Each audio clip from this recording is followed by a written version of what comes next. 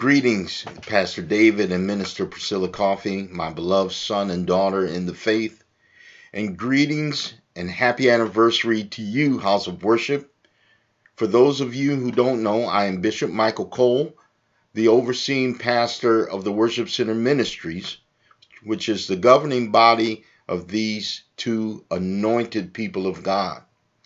It is our honor to watch the movement and growth of this amazing ministry that is taking Mankato and southwest Minnesota by storm for the glory and kingdom of God. On this fourth anniversary, we would like to extend a word of encouragement to prophetically let you know that you are in the will of God.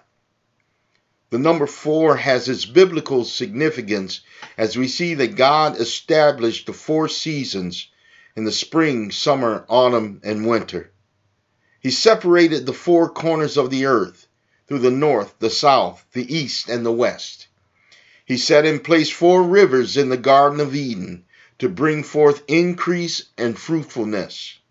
He also gave us the four Gospels to demonstrate the road and the way to know Jesus.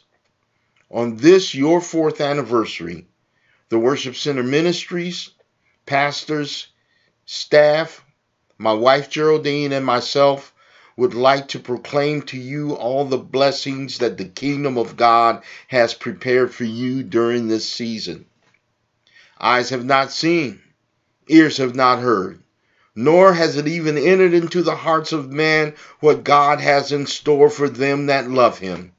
Your love and obedience to Jesus sets you up for a divine blessing to be yours. My beautiful wife and I are looking forward to seeing you soon. But until then, please know that we love you and we're praying for you. Happy anniversary.